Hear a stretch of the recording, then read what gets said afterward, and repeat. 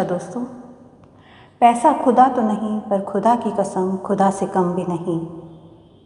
पैसा आज हर इंसान की ज़रूरत है।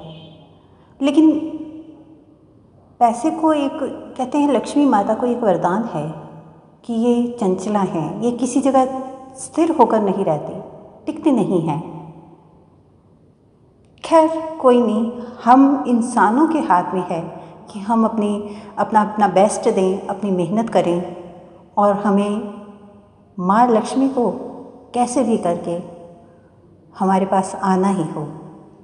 यहाँ मैं आपको सुपर कामयाबी पाने के लिए कुछ ऐसी टिप्स बताने जा रही हूँ कि इन टिप्स को अगर आप ध्यान से देख समझ जाएँगे तो यकीनन कामयाबी की सीढ़ियों पर चढ़ना आपका बहुत छोटी छोटी सी बातें हैं।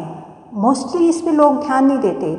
किसी ने पढ़ाई की हुई है, ठीक है एम किया हुआ है, बहुत अच्छी स्टडी की हुई हैं, अच्छे बिजनेसमैन में बिजनेसमैन हैं, लेकिन जो क्वालिटीज़ एक सक्सेसफुल इंसान को चाहिए,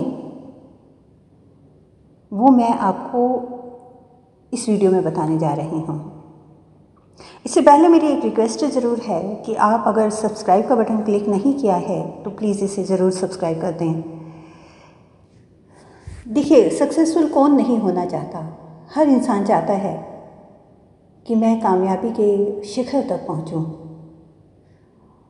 और उनमें से अगर सौ लोगों ने ऐसा सोचा है तो वो मोस्टली दो, चार लोग ही कामयाबी के शिखर तक पहुँच पाते हैं।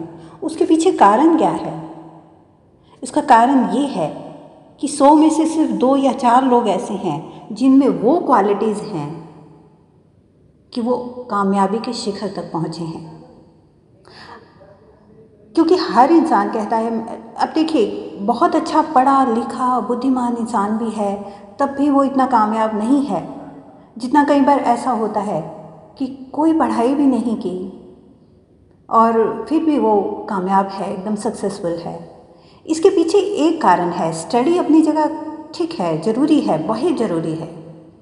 लेकिन उससे भी ज़्यादा ज़रूरी है कि हर इंसान के अंदर जो क्वालिटीज़ होनी चाहिए सक्सेसफुल होने के लिए, वो क्वालिटीज़ आपको किताबों में नहीं मिलेंगी।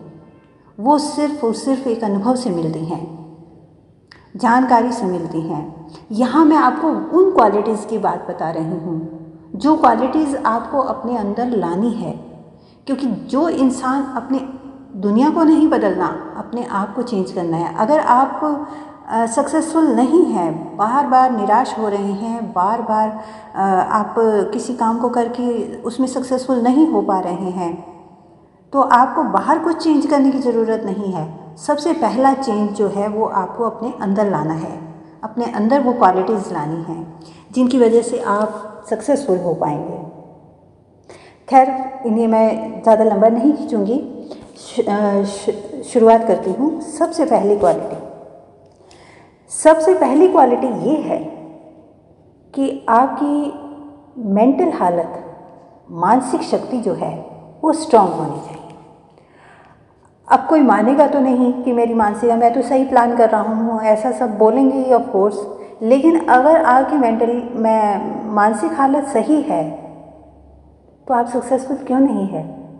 कारण जानिए। आपके प्लान में गड़बड़ है। आप सही तरीके से किसी चीज़ को नहीं चला रहे हैं, या आपको वो चीज़ को उस तरीके से देखने का नज़रिया नहीं है जिस तरीके से आप सक्सेसफुल हो पाए। क्योंकि जो सही माइंड कंडीशन में होंगे, वो चीज़ की उस पॉइंट को पकड़ लेंगे जहाँ वो बार बार अपनी सक्सेसफुल नहीं हो पा रहे हैं जहाँ उनको बार बार सफलता की जगह असफलता मिल रही है वो उस पॉइंट को पकड़ लेंगे। सो so, अगर आपकी मेंटली हालत ठीक है तो आप एक अच्छा बिज़नेस प्लान प्लान बनाने में भी आपका जो योगदान होगा वो बेटर होगा। और अगर आपका एक बिज़नेस प्लान अच्छा बना हुआ है और उसके बाद भी आपको लगता है कि फिर भी मुझे असफलता मिल रही है। तो आपकी अगर मेंटली कंडीशन बहुत स्ट्रॉन्ग है तो आप उस कमी को उस बारीकी से पकड़ कर निकाल लेंगे कि क्या कमी रह रही है जिसकी वजह से मैं सक्सेसफुल नहीं हो पा रहा हूँ।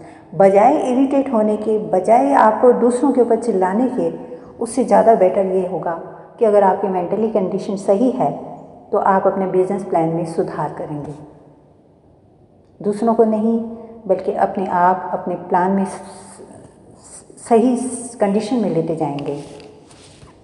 दूसरी चीज़ जो आपको चाहिए, आपकी जो कामयाबी है, अगर आप चाहते हैं तो उसके लिए ज़रूरी है कि आप स्वस्थ रहें। शरीर आपका स्वस्थ रहे। आपका खाने पीने का टाइम नियत हो। यानी देखिए सेवेंटी परसेंट हम लोगों को जो सक्सेसफुल होना है वो एक माइंड माइंड में एक इच्छा है कि हमें ये काम करना है और इसमें सक्सेसफुल होना है क्योंकि हमें दुनिया को दिखाना है। थर्टी परसेंट कहीं लोगों के चांसेस होते हैं कि हमें रोटी खानी है इसलिए हमें काम करना है। सो so, आपको अपना जो डाइट प्लान है वो ठीक रखना चाहिए। आपको एक्सरसाइज टाइम अपने आप को जो एक टाइम देना है अपनी हेल्थ को वो ज़रूर निकालें। ये दूसरी और सबसे बड़ी कंडीशन सही है। क्योंकि ऐसा है आपके पास एक माइंड में प्लान भी है आप आ, काम करने के लिए उत्साहित भी हैं लेकिन अगर आपका शरीर साथ नहीं दे रहा तो आप डिस्टर्ब हो जाएँगे। उफ मैं ये करना चाहता था लेकिन अभी मेरी मैं बीमार हूँ और मैं नहीं कर पा रहा या मैं कमज़ोर हूँ तो मैं नहीं कर पा रहा सो आपको एक हेल्दी डाइट लेना बेहद ज़रूरी है। तीसरी और सबसे चीज़ इम्पोर्टेंट चीज़ जो है वो ये है सक्सेसफुल होने के लिए कि आपको नॉलेज अच्छी होनी चाहिए।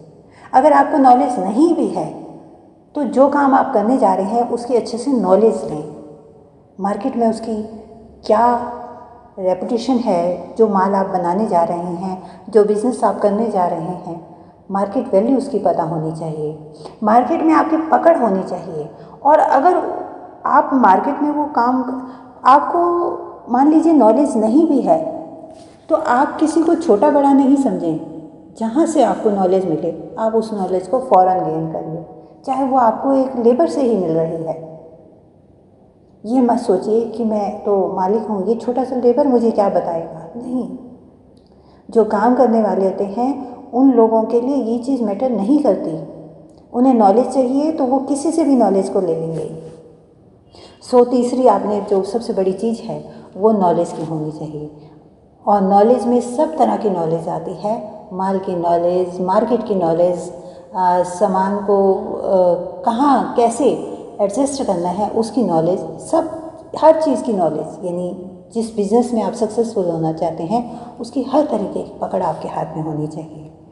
चौथी चीज़ जो आती है, वो ये कि आपको कड़ी मेहनत करने का एक उत्साह हमेशा मन में रहना चाहिए। जहाँ आप नौ बजे पहुँचने वाले हैं, क्योंकि अगर आप में उत्साह होगा तो ऑफ़ कोर्स आप पंद्रह मिनट पहले ही पहुँच जाएँगे। ये उत्साह बड़ा ज़रूरी है। ये इच्छा होनी बहुत ज़रूरी है कि मुझे वो काम करना है और मुझे उसके लिए आप एक्साइटेड हैं कि मुझे उसमें सक्सेसफुल होना है। तो जहाँ आप नौ बजे पहुँचने वाले हैं, वहाँ आप पौने नौ बजे पहुँच जाएँगे।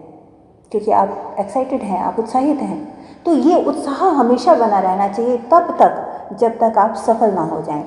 और जब आप देखेंगे कि आप सफल होना शुरू हों तो वो काम जिसमें आप सफल हो रहे हैं, वो आपको एक आनंद देने लगेगा, एक मज़ा आने लगेगा। फिर आपको उस काम को किसी को कहने की ज़रूरत नहीं पड़ेगी कि करो, आप उस काम को करने के लिए खुद दौड़ कर जाएँगे। ये एक मानस, एक उत्साह ज़रूरी है। चौथी चीज़ जो है सॉरी पांचवी चीज़ पांचवी चीज़ जो है, वो है एक अच्छी लीडरशिप आपके अंदर एक लीडरशिप की जो भावना है, वो अच्छी होनी चाहिए।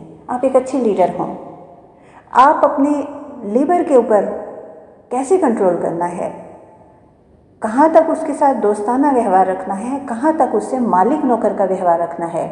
ये लीडरशिप की जो क्वालिटी है ये कई बार सब लोगों में नहीं होती हैं। ये होना बेहद ज़रूरी है।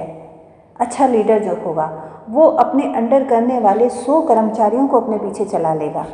सिर्फ़ पैसे के पीछे नहीं, बल्कि जैसा काम वो चाहता है, वैसा वो अपने लेबर से निकलवा लेगा। ये लीडर लीडर की, अच्छे लीडर की जो क्वालिटी है, ये बेहद ज़रूरी है। इसके साथ छवीं चीज़ जो आती है सॉरी ये पाँच चीज़ें ही हैं मेरे पास। तो ये सब, ये क्वालिटीज़ हैं जो मेरी नॉलेज में थी और मैंने आप लोगों को बताई है। और इसके साथ ही एक अच्छा बिज़नेस जो है, उसको मैंने खुद भी डेवलप किया है और मैं उसमें सक्सेसफुल भी रही हूँ। आप सबके साथ ये शेयर करके मुझे बेहद खुशी सी हो रही है। हो सकता है मेरी ये वीडियो आप लोगों को भी कोई इंस्पिरेशन दे, कोई मोटिवेशन दे। स्वस्थ रहें खुश रहें खुशहाल रहें। धन्यवाद।